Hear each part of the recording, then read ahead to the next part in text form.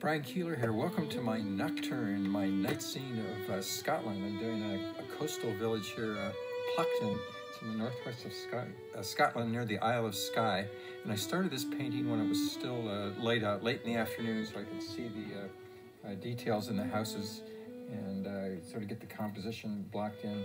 But now I'm just doing it from memory more or less. I can, earlier I could still see it. But I'm working completely in tones and you know, blues and grays and mauves. And I've invented the clouds, uh, and uh, which I sometimes do, but based on observation from previous uh, uh painting experiences or just looking at them. And um, one of the things that I'm conceiving it was west to the left here, so I'm thinking of it as sort of that transition time between uh, night and day when the light is still coming from the uh, from the west. And um, and actually a sailboat actually came through there, and, uh, and then I'll uh, detail it up when I when I get home, and um, work out some of the uh, the nuances of the, the, the color and the uh, and the whole scene. But I've got it basically established uh, in a nice way, and I'm working under a street light here, which is very serendipitous. Uh, there's a store over here, so I can see what I'm doing while nocturne. I'm not sure if uh, Van Gogh had that um, uh, privilege or that, that luck when he was doing his famous uh, night scenes, but uh, here in the 21st uh, century,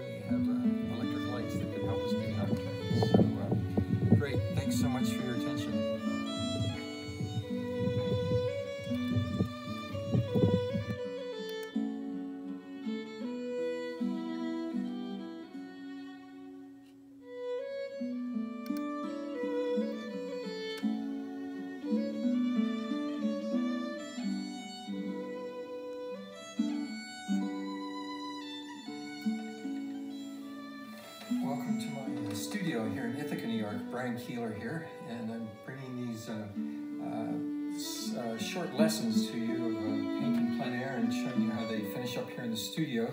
The last time you saw me, I was uh, painting a uh, this nocturne in the town of Plockton. it's near the Isle of Skye, just like my my T-shirt here says, the Isle of Skye, which is off the northwest coast of Scotland. And when you saw me before, hopefully you saw the earlier part of this video, uh, I was standing under a streetlight at night.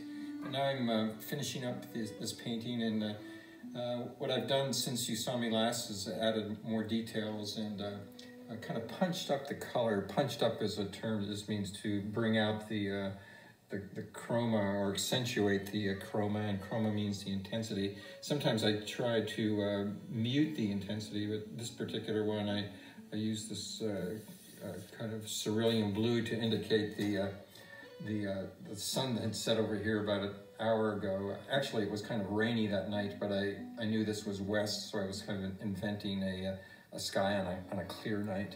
And this last thing that I'm doing is just uh, bringing out some of the darks in these um, this island here. There's an island in the, the, middle here, and I'm just with a small um, brush, I'm adding some details to these uh, uh, evergreen trees here and uh, bringing out some of the, the, the contrast here is what I'm doing in various areas. Just a few little details here and there to basically I'm just using uh, black and uh, burnt umber to do it. And I've already put a a varnish on this painting of um, liquin. And sometimes I use Utrecht um, uh, varnish too. It's very similar. I forget the name right now, but it's a Utrecht product that's very similar to a liquin. And it uh, gives a nice um, even sheen. Some certain colors like burnt umber and other colors kind of sink in and become matte in the uh, and the varnish will uh, um, even out the uh, tone here. Whoops. Just some, uh, a few more details in this other evergreen tree here.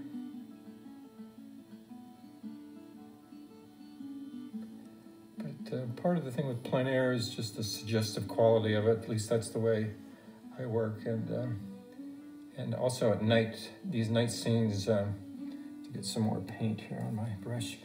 Uh, the thing with uh, night scenes is um, the softness of it and the uh, softness of edges. So some soft edges are okay. Okay, that's about all I wanted to show you to um, to show you this uh, final stage of how a, a painting uh, transforms from the initial impression.